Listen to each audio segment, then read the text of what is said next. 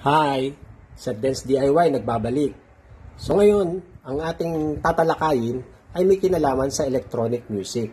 At mamaya, si-share ko kung paano gumagana ang isang cassette tape at syempre ang cassette player. Pero bago ko ipakita yan, eh, intro muna tayo.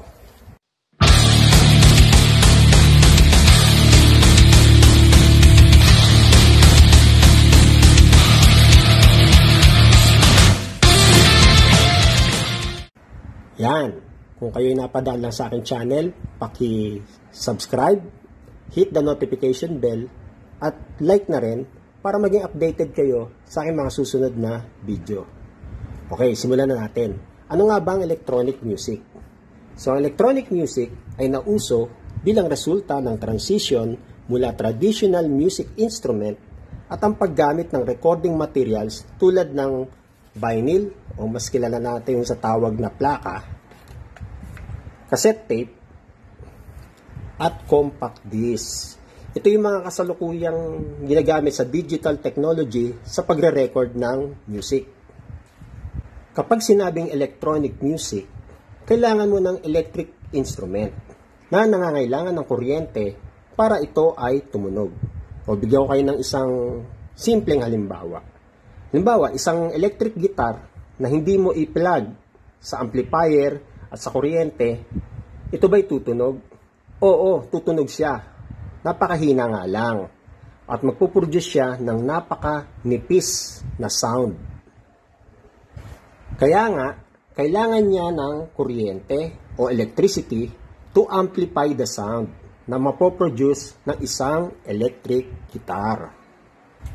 Napag-aralan na ninyo sa grade 10 kung sino ang father of electronic music. Sige nga, sino ba yung father of electronic music? Tama, si Edgar Barres. Siya ang proponent ng word organized sound.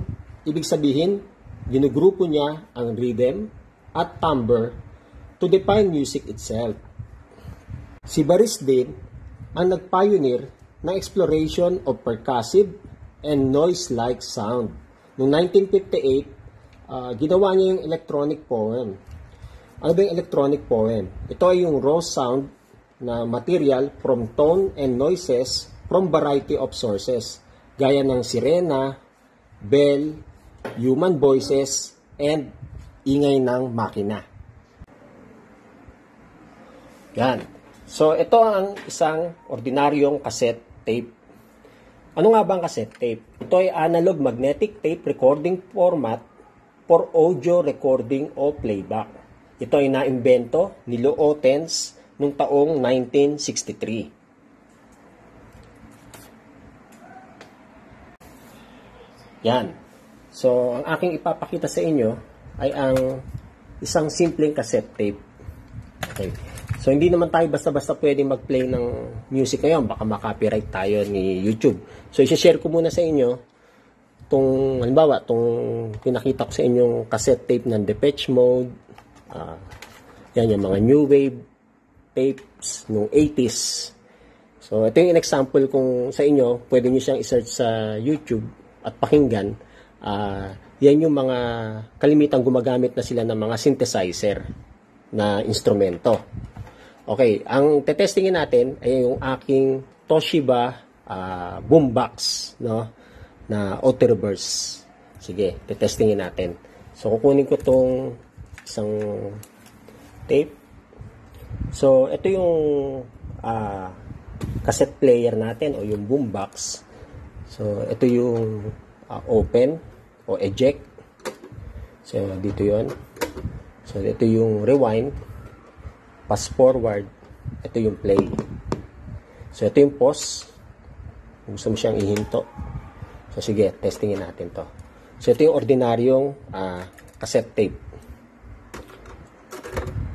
So, ganyan kami makinig nung music nung araw.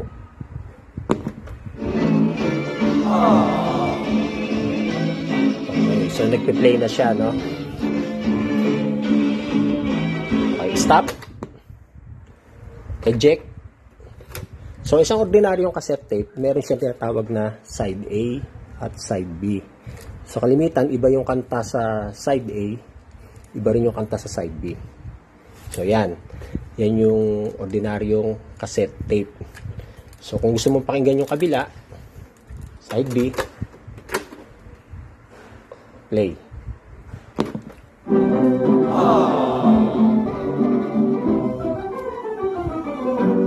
Okay. So yan ang isang yan ang isang ordinaryong cassette tape. So nung araw, hindi pa uso ang ah, cellphone. Tsaka hindi pa rin uso ang ah, iPad, no? Kasi ngayon, alam nyo to eh, no? Yung cellphone tsaka iPad, dito kayo nag store ng napakaraming kanta. Daan o libong kanta, kasya sa memory, depende sa memory ng isang ordinaryong cellphone at ah, iPad. So, nung araw, walang cellphone, walang iPad. Ganito lang kami nakikinig nun. Ngayon, kung halimbawa wala kang pambili ng ah, cassette tape, aabangan mo siya sa radyo. No? Ngayon, kal- kalimitan ng cassette player, may radyo o may FM. Ay, baka copyright tayo. Sige. So, lipat natin. So, ito yung tuning niya.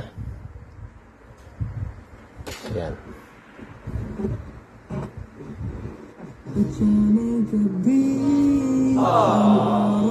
Yan. So FM. So pwedeng FM, pwede ring ah, cassette tape ang isang ah, cassette player, no? So ganyan kami makinig ng music nung araw. Oh, ah, kung halimbawa wala kang pambili ng cassette tape, ah, nabili kami ng blank tape. Tapos pag halimbawang ah, gusto naming i-record, i-record yung maririnig namin sa radyo, marirecord dito. So, sa susunod na video, papakita ko sa inyo kung paano mag-record ng ah, music sa digital format papunta sa analog format na cassette. So, abangan nyo yung susunod kong video ha. Tsaka sa mga susunod kong video, papakita ko rin sa inyo kung paano ah, magpatugtog sa ah, turntable gamit ang vinyl o plaka. So sana may na gustuhan niyo yung aking video. Kung kayo'y bago lang, invite ko kayo. Paki-subscribe, ah, like, hit the notification bell, at para maging updated kayo sa aking mga susunod na video. So again, Sir Benz DIY, ah, sana po may natutunan kayo kahit paano sa aking simpleng shinare ngayong araw. So hanggang sa muli, salamat, Sir Benz DIY. Thumbs up.